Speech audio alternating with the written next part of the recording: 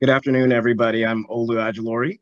I'm a professor of psychiatry at the University of Illinois in Chicago, and today I'm going to talk about our study of a problem-solving therapy-trained voice-enabled artificial intelligent counselor, or SPEAK, for adults with emotional distress.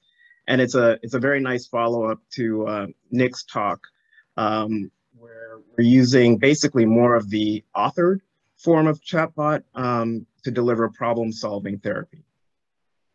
Uh, here are my disclosures. And essentially at the heart of Speak is a, a platform called Lumen, which is designed to deliver uh, problem-solving therapy uh, using an Alexa-based interface on a study-provided tablet. In combination with the PST sessions that are done on a tablet, we also have a context manager that can integrate information from surveys as well as ecological momentary assessments that are delivered on the participant's smartphone. So this differs a little bit than a traditional Alexa skill in that we're combining the capabilities of Alexa with some of the complexities of problem solving therapy as well as uh, human interaction. And so we've taken upon ourselves to use a formative evaluation process and a, a user-centered iterative design process to create Lumen and this involved uh, brainstorming sessions with engineers, uh, psychiatrists, folks with expertise in PST. Um, and then we also, uh, after some internal testing, wanted to use our prototype in participants uh, from a previous study where they might have had exposure to in-person problem-solving therapy. So we had them do a series of surveys after two sessions with Lumen. And these surveys included the user experience questionnaire, um, where we were able to ascertain ease of use or efficiency of use, which is known as the pragmatic quality of the experience, as well as the joy of use or the hedonic uh, quality of the experience.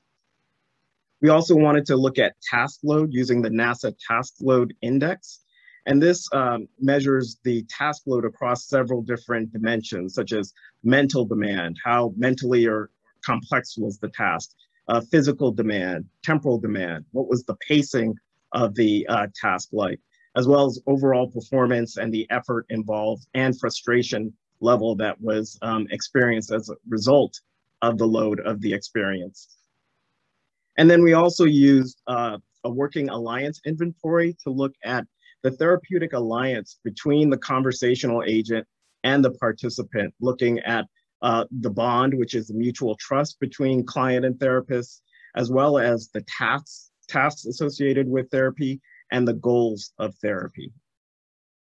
We also explored some of these themes in a qualitative way uh, using semi-structured interviews to look at the user experience task load alliance, as well as some of the benefits and challenges and barriers of working with Lumen.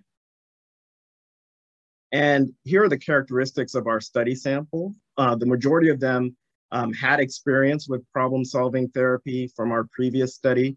Um, the sample was predominantly female and it was very diverse, um, which is reflective of our patient population that we see in Chicago. So what did we find on the survey results?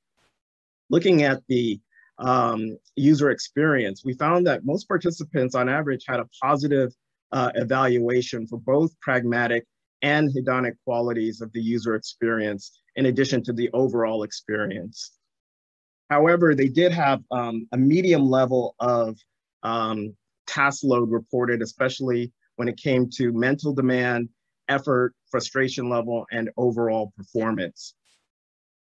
Yet they still had a pretty good bond um, with Lumen as measured by the uh, Working Alliance inventory uh, not only bond, but task as well as goal were rated to be moderately high, um, around five on a seven point scale.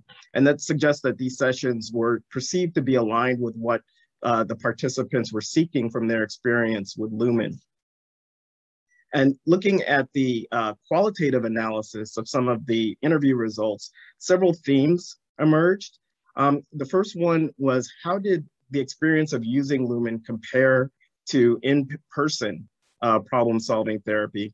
And an example quote is shown here where the participant said, when I spoke with the human coach, I found myself venting if I may, and going in every which direction, whereas Lumen forces me to stay very rigid. And sometimes when going through problem solving, the emotional release of going in every which direction rather than going straight and narrow feels a lot more comfortable. Um, when looking at task load, which was another theme that emerged from our qualitative analysis, there were two dimensions that were particularly stood out. One was temporal load, where participants felt rushed and they didn't have enough time to think through or write things as they were participating in the session, as well as cognitive load. Um, and an example quote is shown here where participant says, sometimes it's telling you a lot of things. So for a user, it's hard. You're not looking at somebody. You're really, really having to concentrate and pay attention. So if by any chance you miss something, then you get kind of lost. Uh, another theme that emerged were the perceptions of PST.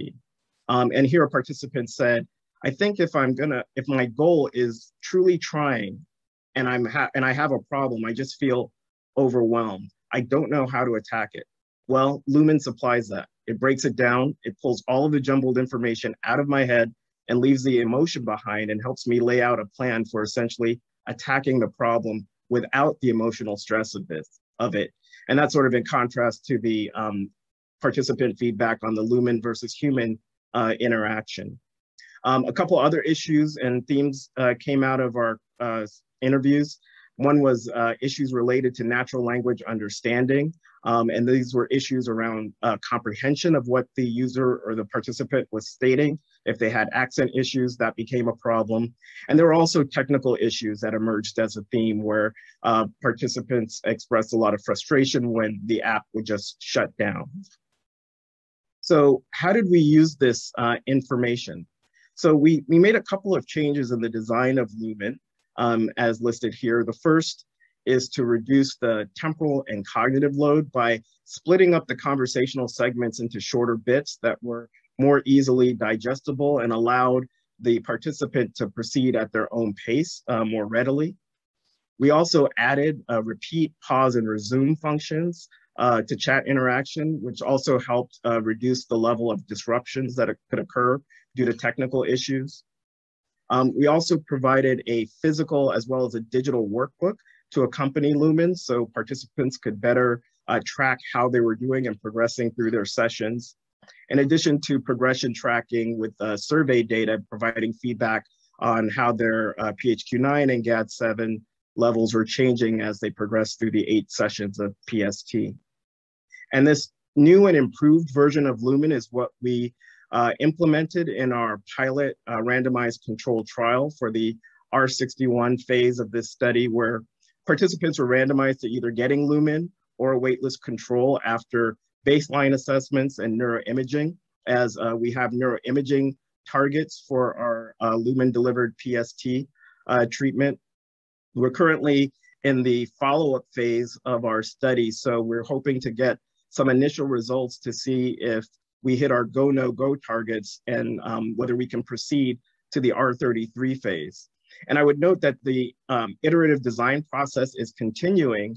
And what we hope to do is, is akin to uh, what David Mohr talked about and, and, what Nick talked about earlier, which is to take some of the data from the um, Lumen sessions and see if we can find additional um, areas for personalization and optimization. And so I'd like to stop here and acknowledge um, all my colleagues, particularly my co-PI, Jun Ma, um, without this wonderful team of uh, clinicians and scientists, uh, none of this would have been possible. Thank you.